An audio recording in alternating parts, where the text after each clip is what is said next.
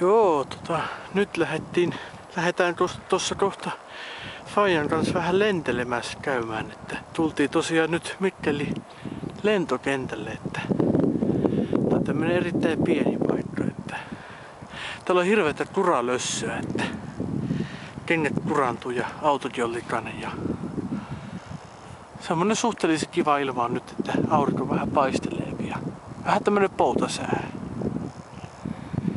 Näin, että tossa on tosiaan oikeimmaisena se pienkone, millä me mennään lentämään. Että se on semmonen, oliko se nyt Cessna-merkkinen vai mikä niin.